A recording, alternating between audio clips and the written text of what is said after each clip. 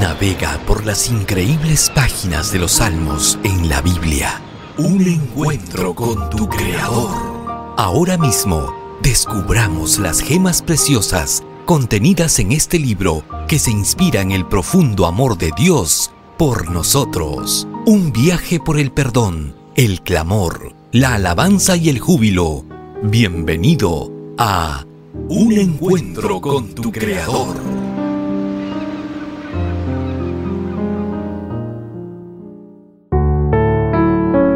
Hola, te saluda tu amiga Joyce. Te quiero invitar hoy 4 de mayo a leer juntos el Salmo 90, 11.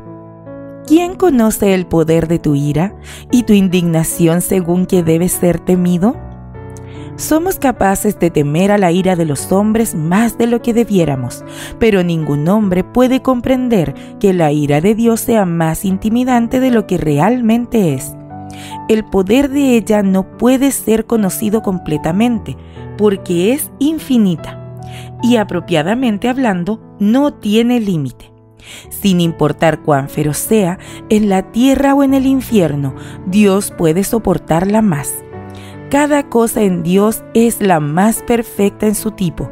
Por lo mismo, ninguna ira es tan feroz como la suya. Oh pecador, ¿Cómo concibes que podrás soportar esa ira que te despedazará y te triturará hasta hacerte polvo?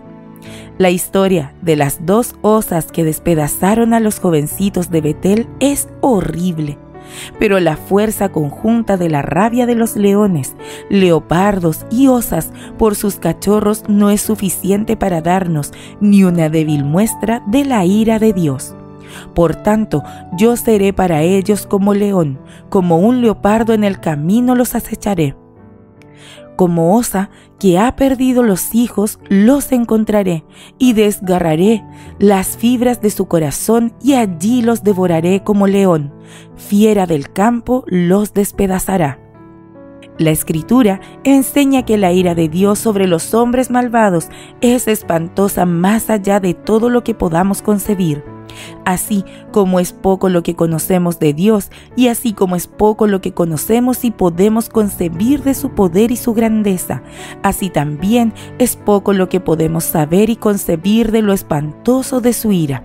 Y por lo tanto, no hay razón para suponer que la definamos más allá de lo que es.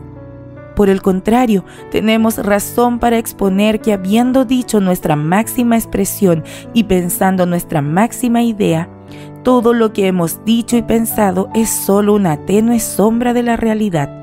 Se nos ha enseñado que la recompensa de los santos va más allá de lo que podemos escribir y concebir.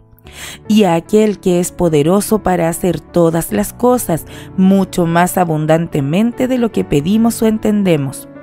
Cosas que ojo no vio, ni oído oyó, ni han subido en corazón de hombre, son las que Dios ha preparado para los que le aman entonces podemos suponer racionalmente que el castigo de los malvados será inimaginablemente aterrador. Te espero mañana en un nuevo encuentro con tu Creador. Este viaje nos dejó grandes lecciones de amor. Volveremos a embarcar mañana, cuando abordemos y tengamos un encuentro con tu Creador. Esta fue una presentación de Canaan Seven Day Adventist Church y DR Ministries. Hasta la próxima.